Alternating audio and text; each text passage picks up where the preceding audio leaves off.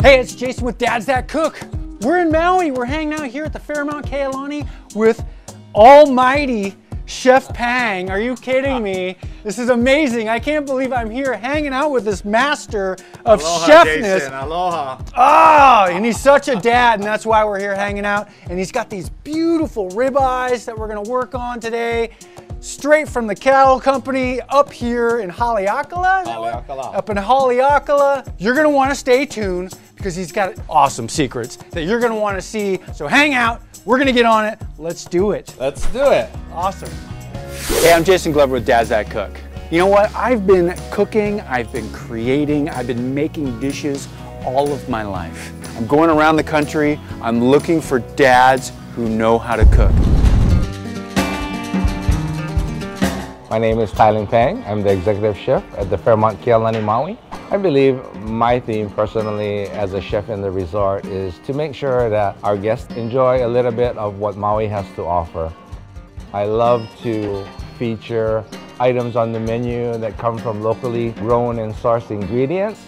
Having our grocery store growing up country right up the street, bringing it down and getting it to the resort has been common scene here in the Maui restaurants and resorts.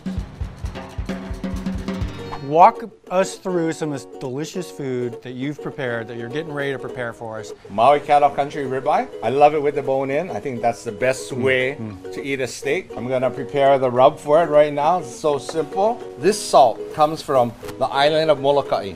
It's done by Nancy Go. She's an artisan salt maker. The next ingredient is a turbinado sugar, a little chili flakes, mm-hmm. fresh parsley, then of course garlic.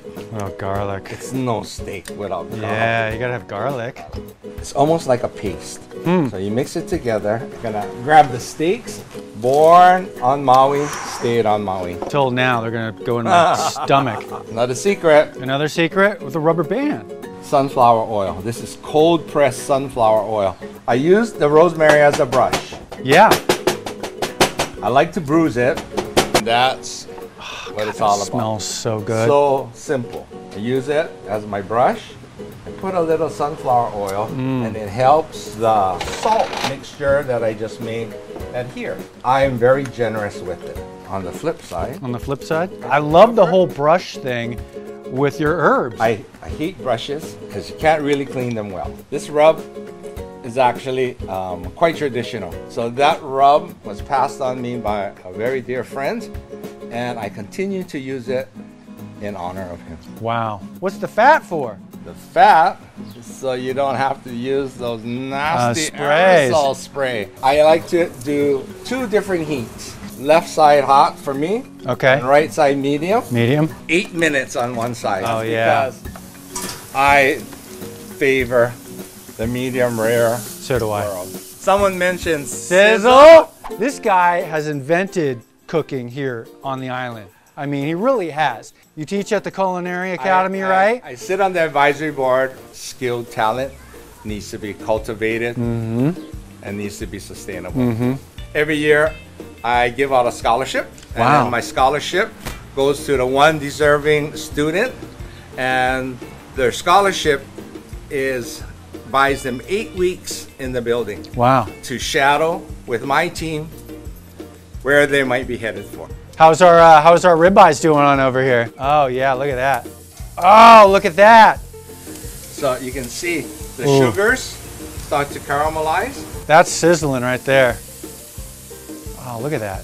I'm gonna put these on the grill if you don't mind too. Yeah, yeah. So when we're ready to plate up, What do we got? these are hamakua ali'i mushrooms paired with some of those beautiful Maui onions that I mentioned about. Sunflower oil, Uh huh. but I'll actually do salt and pepper. Oh, okay. I try not to do too much to the produce that I, I Yeah. bring in. Is it the same salt that the the gal that you talked Yes. about made for Nancy you? Go from Molokai. So I am gonna put this on the grill. Oh yeah, that's gonna be nice. Like I said, simple, good ingredients, Uh huh. about good technique, being true to the food. Pink snapper. So this was a fish of celebration. To get a fish and eat it whole, off the bone, it was representative of a lot of things. Prosperity, And that's why it was always a celebration. We saw it at birthdays, we saw it at New Year's. Uh-huh. I believe the most tender meat comes from the center. Uh-huh. The sweetest meat comes off the bone. You're gonna do a little scoring on them? Just a little bit to get the herbs and the ginger and the salt on the inside. Very simple scoring. Hawaiian sea salt, both sides. And I like Ooh, tons of ginger. that looks amazing.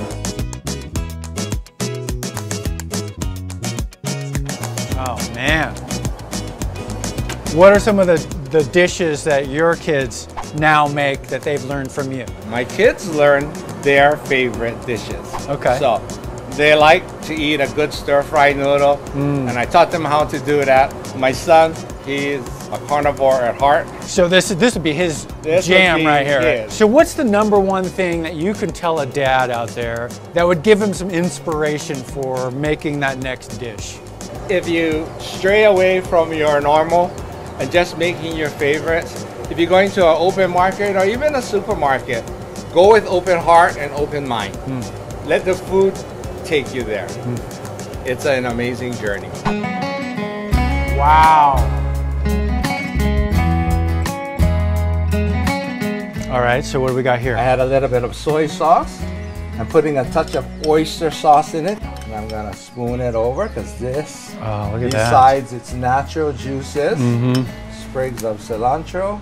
Okay, so what do we got here? We got oil, hot oil, I have macadamia nut oil from the islands. a macadamia nut. Keeping in Hawaii. Oh, wow. We'll- Wow.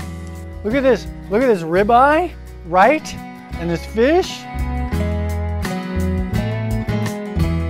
I'm just gonna go right here. Is that good? Good. Oh my God. I never had any steak like that before. How'd you like the rub? I immediately I got the salt. I got the salt and the sweet. All right, let's get this fish. A little bit of the sauce Ooh. back over the top. He's gonna peel a little piece off for for me. That. All right. Careful. There's a tiny bit of bone. Mm-hmm. If you if you sit at it with a chopstick and you peel it back, peel it back, peel it, that's Mm-hmm. quite the way to enjoy it. And it's so light and flavorful. It and- was worth waiting for.